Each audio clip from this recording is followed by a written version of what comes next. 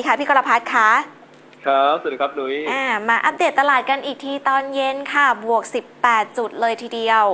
ครับผม อืม ยังไงต่อคะ จริงๆก็ถือต้องบอกว่าถือว่าโชคดีนะเมื่อเช้าเราก็คุยกันว่า จริงๆเซ็ตเนี่ยค่ะหนึ่งหกสองสี่หนึ่งหกสามศูนย์เนี่ยมาได้วันนี้นะครับค่ะถ้าโมนตัมเป็นไปตามที่เราประเมินไว้อือคฮึรับ ตลาดเองก็ก็รีบาวขึ้นมาค่ะนะครับ เอ่อคือตอนนี้ก็ ภาพก็น่าจะชัดเจนว่าตลาดเองก็เริ่มจะเอ่อเริ่มมีการปรับ position แล้วกันเรียกว่าปรับ position เข้ามาในสินทรัพย์เสี่ยงนะครับหรือว่าหุ้นเพิ่มมากขึ้น เพราะว่าก็คงมองโอกาสนะครับ ว่าอืมคือแย่สุดก็คงเป็น bottom out วันอังคารหน้านะครับอ๋อแล้วก็เรื่องการเจรจาการค้ามันก็ไปสุดทางแล้วอะนะครับอืมมากกว่านี้ก็ก็เหนื่อยกันหมดนะครับค่ะอืมคือมันก็มีแต่ว่าเท่าเดิมอือหฮึรืออาจจะเริ่มถอยไหมนะครับดังนั้นสัญญาณของตัว ตลาดเองนะครับอืมในขาตัว t f e c เองก็ ก็คงจะต้องมองเป็นภาพที่น่าจะมีโอกาสที่จะไปต่อมากกว่านะครับ ค่ะเอ่อใครถือลองมานะครับ แล้วก็เอ่อมองตามที่เราประเมินไว้ช่วงก่อนหน้านี้เองเนี่ยอืมก็ตอนนี้คือเบรก 1078 ขึ้นมาแล้วนะครับค่ะรอบถัดไปก็ดูที่เอ่อ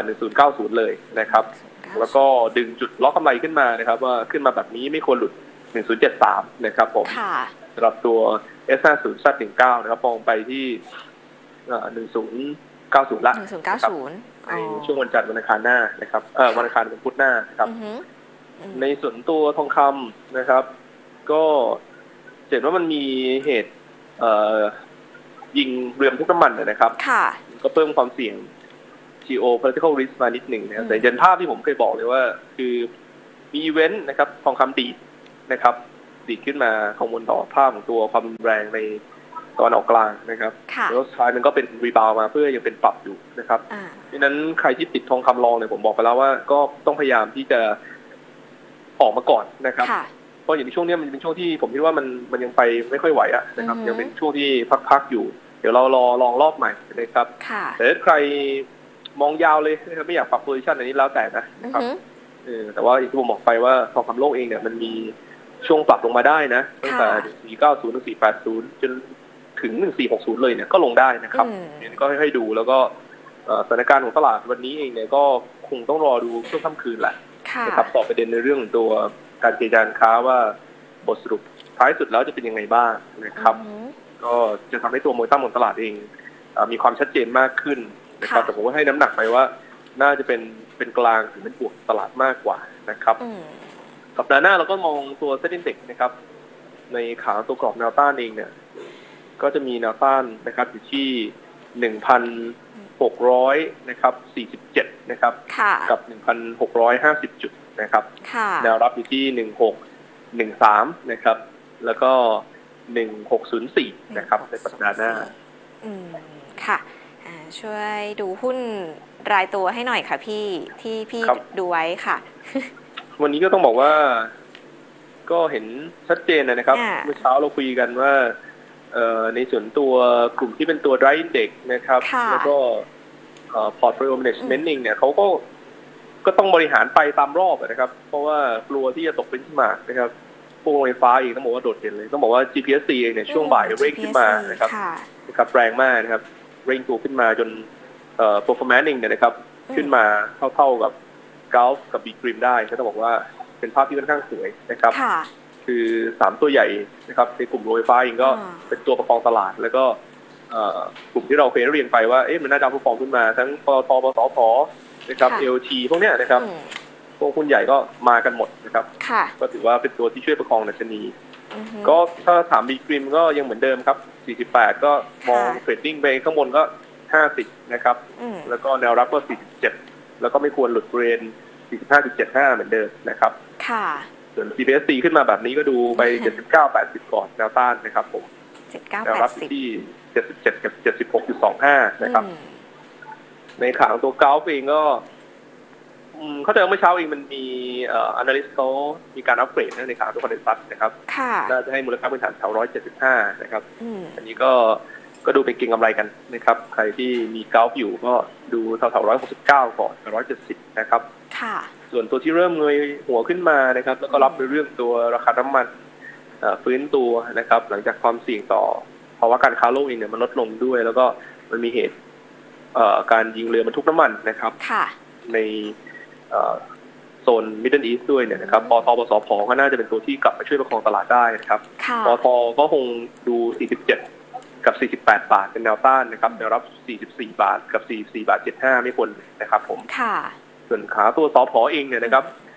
จริงๆแพทเทิร์นเขาค่อนข้างสวยนะนะครับอืมก็ดูไปร้อยยี่ห้าก่อน กับร้อยยี่สิบเจ็ดนะครับกำไรไตรมาสสามถือว่าใช้ได้ด้วยนะสอพอนะครับ ค่ะ แล้วก็แนวรับร้อยยี่สิบเอ็ดบาทครับผมอืมส่วน asset เบอร์ที่คุยกันไปภาคเช้าค่ะนะครับ ตอบประเด็นของ เอ่อฟุตซี่นะครับค่ะที่จะเพิ่มน้ำหนักประมาณสัก เกือบเกือบพันห้าร้อยล้านบาทนะอืมนะครับสี่สิบแปดล้านเหรียญที่ทางเราประเมินไว้ก็ช่วงสายๆก็เริ่มเร่งตัวขึ้นมาเรื่อยๆนะครับเมื่อเช้ายังหกศูนย์ห้าหกหนึ่งศูนย์อยู่เลยนะค่ะครับหกยี่ก็สิบแล้วเนี่ย ก็ทุกๆหนึ่งเปอร์เซ็นที่ asset เบอร์ขยับนะค่ะมันหนุนดัชนีหุ้นไทยนะครับ ได้ประมาณสัก 0.15 จุดนะนะครับนี่บอกไว้ก่อน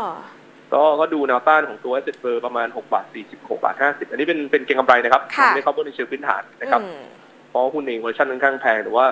มันเป็นเขาเรียกว่าอะไรอะ เป็นตัว index benchmark แล้วกันผมพูดแบบนี้นะครับค่ะแล้วก็มันอาจจะไม่ได้จบแค่ตัวฟุตซี่ด้วยอือฮึ opportunity ของตัว MSCI ก็ยังมีอยู่นะครับอืมก็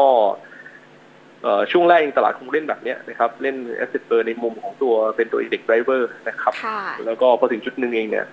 มันจะเริ่มมามองในเรื่องตัวปัจจัยพื้นฐานนะครับอืมในช่วงถัดไป เพราะฉะนั้นตอนนี้เขายังมองเป็น index driver อยู่ก็ดูตามกราฟประกอบไปนะครับผม ก็บริหารความเสี่ยงง่ายๆครับไม่ควรหลุด 6 บาทนะครับสำหรับตัวค่ะ asset เบอร์นะครับอ๋อในแง่ของการเก็งกำไรค่ะส่วน AOT เป็นหุ้นที่เราเลือกเป็น top pick ไตรมาสสี่นะครับอืมแล้วก็ปัจจัยพื้นฐานดี วันนี้ขึ้นมา 75 ถือว่าสวยเลยนะครับค่ะสัปดาห์หน้าดู 76 นะครับ กับ 76.75 ก่อน แล้วก็แนวรับอยู่ที่ 74 บาทสำหรับตัว AOT นะครับค่ะในข้างตัว Advance นะครับ Advance วันนี้ถือว่าก็เป็นอีกตัวหนึ่งที่เป็น top pick ไตรมาสเหมือนกัน ก็ถือว่าอืมขึ้นมาได้ค่อนข้างดีนะครับ Advance เนี่ย ถ้าดูตามโมเมนตัมแล้วนะครับ process ของตัว 5G ที่กำลังมาด้วยทิศทางเ e นดิ้งด้วย แล้วก็ยิวที่สูงระดับนี้เนี่ย Advance ควรจะค่อนข้างขยับขึ้นไปนะครับเราถามว่า240 250 อีกรอบหนึ่งนะครับอันนี้เป็นเป็นกรอบหลักของตัวเอ่อไตรมาสสี่นะครับขณะที่ระยะสั้นนิ่งเนี่ยดู 232 นะครับ กับ 234 ก่อนนะครับ แล้วก็แนวรับ 226 ก็ไม่ควรย่อหลุดครับผม ค่ะ อือฮึอืมผมพูดถึงตัวมอลล์ชีก่อนเนาะได้ค่ะ อะไรอะ เดี๋ยวนะ สวัสดสวัสสวัสดดีถือว่าดีนะครับ สวัสดถือว่าดีค่ะนะครับ เป็นหุ้นที่อืมผลประกอบการดีนะครับ ใครใครตามทีมดอกเบี้ยต่ำนะครับ consumer finance จะรู้เลยว่า big cap ของตัว consumer finance เนี่ยเราชอบสวัสดที่สุดนะครับค่ะเราจะเห็นว่าปีนี้เองสวัสด์เป็นตัวที่ค่อนข้างแข็งแรงนะครับอืมความเสี่ยงในเรื่องตัว e a r n i n g เองมันมันน้อยกว่าตัวอื่นนะครับอือฮึแล้วสวัสด์ขึ้นแน่นอนครับ NTC ขึ้นตามเสมอทุกรอบนะครับอ๋อ เป็นหุ้นที่เขาวิ่งตามกันแล้วเดี๋ยวก็ไปดูตอน e a r n i n g กันอีกทีหนึ่งนะครับค่ะสวัสด์ก็ดูมาถึงตรงนี้ก็ดูตรง60แล้วแหละนะครับอืมถ้าผ่านได้น่าจะน่าจะวิ่งแรงนะนะครับค่อยๆดูกันส่วนค่ะแนวรับก็เบรน58 บาทก่อนครับสำหรับตัวสวัสด์แปดบาทค่ะพี่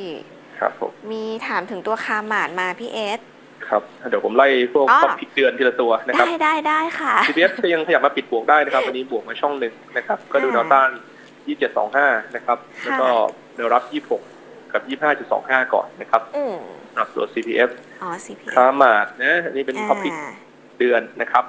พวก top pick เดือนก็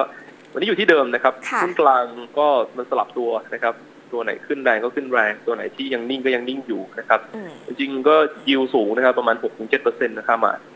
นะครับแล้ว PE ก็ต่ำนะครับ ประมาณสัก 13 เท่า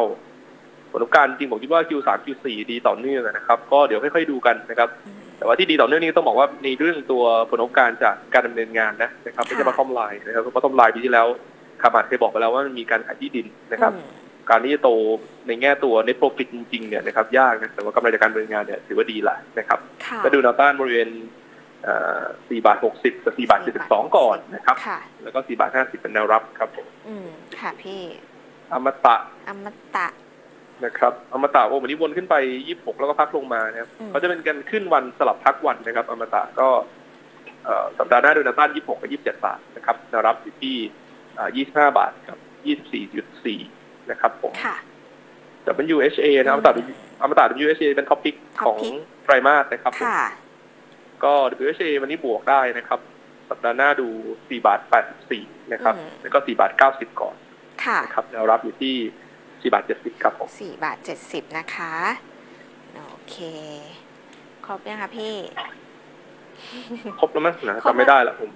ไม่เป็นผไรมก็ไล่ไปทีละตัวสองตัวโอไม่เคเป็นไรคบเดี๋ยวเราไปดูกันช่วงเช้าได้เมื่อเช้าเราคุยกันหลายตัวเลยมีอัปเดตไว้ด้วยเนาะครับ ก็ยินดีกับนักลงทุนว่าตลาดเริ่มค่ะเอ่อเงยหัวขึ้นมานิดนึงนะครับเนาะแล้วก็ได้ใครอยากได้ไอเดียในเรื่องตัวกลยุทธ์ไตรมาสสี่ก็ลองลองหาบริข้อของค่ะ โนมระดูแล้วกันนะครับอืมเราเพิ่งออกมาเมื่อวานนี้ช่วงเย็นๆนะครับค่ะจะเข้าใจคีย์เดียว่าเอ่อตัวกระสุนสองลูกนะครับอืมที่ประคองเศรษฐกิจคืออะไรนะครับค่ะแล้วก็เหตุผล 5 ข้อที่จะหนุนอือฮึตัวตลาดเอเชีย แล้วก็ตลาดหุ้นไทยเนี่ยนะครับอืมน่าจะฟื้นตัวในแง่โมเมนตัมนะครับค่ะรวมถึงเทรนด์ของตัว earning recovery ขึ้นมานะครับอืมคืออะไรค่ะลองไปดูบทวิเคราะห์ของนูราประกอบด้วยกันนะครับ หน้าปกอือฮึเป็นรูป ดอกไม้สวยๆ อันนี้ผมถ่ายเองนะครับผมครับค่ะผมและที่สำคัญอย่าลืมโหวตพี่กรพัฒน์ด้วยนะคะก็ขอบคุณมากเลยครับนุ้ยค่ะรับโอเคได้เลยค่ะ พี่กรพัฒน์ขอบคุณมากๆค่ะครับสวัสดีค่ะอะขอบคุณคำแนะนำจากทางด้านคุณกรพัฒน์วรเชษฐ์นะคะพออาวุโสฝ่ายวิจัย และบริการการลงทุนค่ะ จากบลโนมุระพัฒนสินนะคะ ก็มาให้ข้อมูลความรู้ ก็ก็เอ่อสิ่งดีๆหุ้นดีหุ้นหลายตัวเลยให้กับพี่ๆนักลงทุนนะคะในช่วง FM 97 มีการดูกราฟประกอบด้วยสามารถไปดูย้อนหลังได้นะคะ